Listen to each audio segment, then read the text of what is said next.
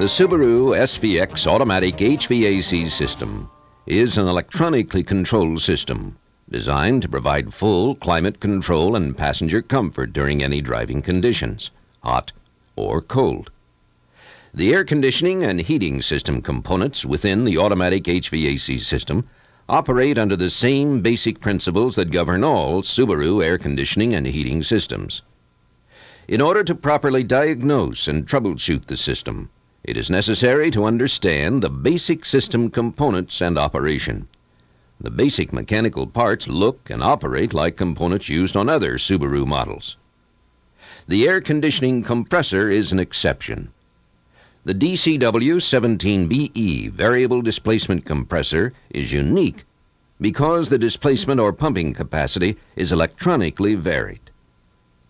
Despite the unique internal capabilities of the DCW17BE, it is still an engine-driven compressor, and the mechanical operations it performs are the same as other air conditioning compressors. That is, to compress and circulate refrigerant through the AC system. At the heart of the system is an onboard processor or automatic control unit. The Auto Control Unit, or ACU, has control of compressor displacement, air intake, air volume, air temperature, and air outlet modes. These five areas are controlled to maintain passenger comfort and safety. The system is designed with the concept of input, evaluation, and output. Four input sources provide information to the ACU sensors, actuators, the control panel, and the Vehicle Electronic Control Module, or ECM. HVAC sensors consist of five electronic thermistors and one light sensitive diode, strategically located throughout the vehicle. Thermistors are electronic devices which alter resistance values according to temperature. The light-sensitive diode is a device designed to generate voltage according to sunlight intensity. The passenger compartment sensor measures air temperature as it is drawn across the sensor through the aspirator tube. The evaporator sensor measures the air temperature as it leaves the evaporator core. Refrigerant temperature is detected as it enters the evaporator core by the refrigerant sensor. The water temperature sensor measures the temperature of the heater core. The ambient sensor detects outside air temperature as it enters the vehicle grill. The resistance of each of these thermistors increases as the temperature decreases.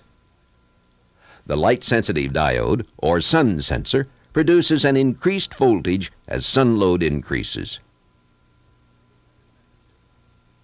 Another type of input to the ACU comes from three separate actuator motors, which drive various doors throughout the system. Intake door position is provided to the ACU through the position sensing contacts within the actuator.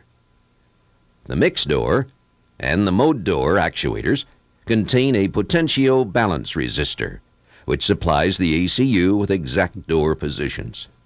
The ACU receives inputs from the control panel regarding the operator's desired conditions. In the auto mode, the ACU is given full control over the five control points. Compressor displacement, air intake, air volume, air temperature, and air outlet mode. Manual selections can also be independently made through the control panel. The compressor is disengaged in the economy mode. Air intake can be forced to the recirc position Blower speeds can be manually selected. Desired temperature can be selected from 65 to 85 degrees Fahrenheit or 18 to 32 degrees centigrade. Some air outlet modes can be manually selected. For instance, in the vent mode, the air outlet door is driven to the dash vent position. It should also be noted that the remaining four control points are driven to fixed positions. Compressor operation is cancelled. Air intake is driven to the fresh air position. The air mix door is driven to bypass the heater core, and the blower motor speed is driven to medium. The service manual describes all control panel input functions in detail. When approaching an engine overheat condition, the vehicle ECM provides a suggested compressor displacement input to the ACU. The information collected by the various input devices must be evaluated by the ACU to determine the required output to the five control points. The ACU receives input in two ways pulse signals or voltage signals. Pulse signals received by the ACU are generated by the control panel regarding the operator's desired response, or the vehicle ECM regarding suggested compressor displacement. A 5 volt reference signal is sent from the ACU to all the sensors and actuators. These devices alter the signal based on temperature changes, sun load, door position, or by completing a ground circuit through the position sensing contacts. Using programmed logic, the ACU combines the values received from all the input sources to develop a single numeric value, or composite signal. Based primarily on the composite signal, the ACU will drive four of the five areas of control to the required performance level. The composite signal controls air intake door position, blower motor speed, air outlet position, and the air temperature door position. The compressor displacement output is developed from either the evaporator or refrigerant sensor inputs, not the composite signal. The DCW17BE variable displacement compressor is a five-cylinder wobble plate compressor. The angle of the wobble plate determines the stroke of the pistons. Longer strokes equal greater capacity. Shorter strokes equal less capacity. Displacement can be varied from full 100% capacity to a minimum displacement of 5%. The compressor solenoid valve is an infinitely variable bleed valve, which, based on the amount of amperage received from the ACU, controls wobble plate chamber pressure. When open, the solenoid valve provides an escape route for compressed refrigerant, which prevents wobble chamber pressure from rising. When less compressor capacity is required, the ACU provides an amperage signal which varies from 0 to 0.6 amps to the compressor solenoid valve. This variable amperage closes the solenoid valve, causing wobble chamber pressure to increase. Increased wobble chamber pressure on the backside of the pistons forces the wobble plate and pistons to a shorter stroke.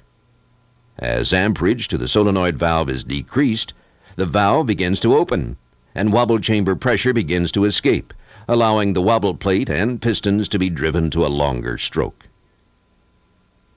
The air intake door can be driven to three positions 100% fresh or outside air, 100% recirculated interior air, or 20% fresh mixed with 80% interior air.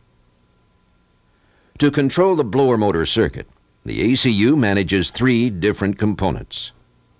Source voltage to the blower motor is controlled by the off relay.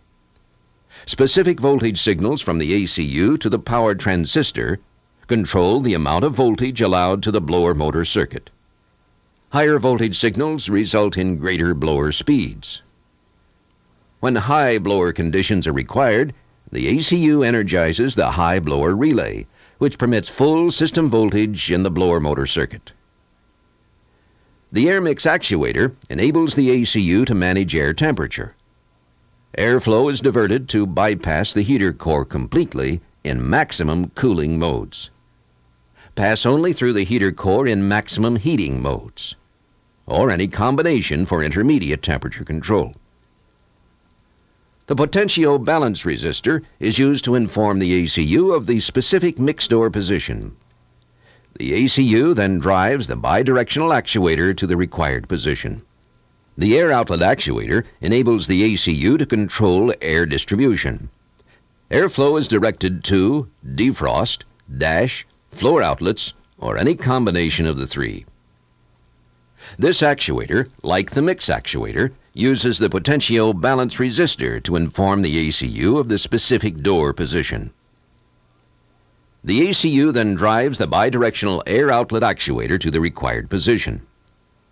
The ACU does not directly control compressor on and off operation, but sends an output signal to the ECM, requesting compressor operation in the auto and defrost modes. In summary, the SVX automatic HVAC system operates with the concept of input, evaluation, and output. At the heart of the system is the auto control unit. The ACU has control of compressor displacement, air intake, air volume, air temperature, and air outlet modes. Some operating conditions, such as hot and cold startup, or extreme ambient temperatures, may have an effect on certain system functions. Always refer to the service manual for additional information. Automotive air conditioning